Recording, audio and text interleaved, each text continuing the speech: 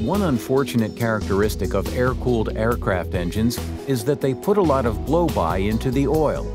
Blow-by is the combustion gas that squeezes past the compression rings during each high-pressure combustion event, as shown in the operating model. The blow-by mixes with the oil, contaminating it with partially burned reactive fuel, water, heat, and lead particles.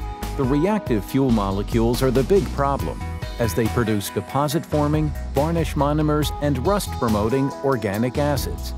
As we zoom in, we can see the monomers floating in the oil, which is not shown for clarity.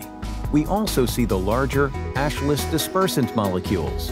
Ashless dispersants work by surrounding the individual monomers, keeping them suspended in the oil so they will drain away when changing oil.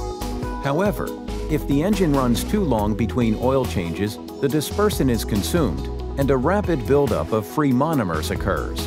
If one monomer bumps into another monomer, they react to form a polymer in a process called polymerization.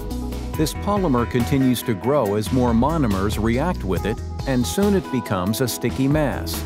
This mass then sticks to hot metal parts, such as the piston, forming a deposit as shown. It can also combine with the lead particles to form sludge. Once there are free monomers present, deposits and sludge follow. CamGuard's unique deposit control chemistry neutralizes the reactive monomer, preventing polymerization, and thereby stopping deposit and sludge formation.